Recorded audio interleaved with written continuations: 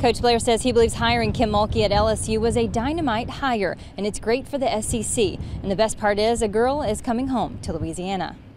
The relationship between Aggie women's basketball head coach Gary Blair and Kim Mulkey began nearly 40 years ago when he took his first college coaching job at Louisiana Tech, where Kim Mulkey was a freshman. Coach Blair says they won two national championships together and have competed against one another many times over the years as coaches. Coach Blair says instead of being upset about Kim's departure, the city of Waco should rejoice with what she's built there because it's pretty special. She built it very similar to how she played the game herself fiery no contest at all. She worked hard on every little aspect of the game and how she taught her kids to play hard.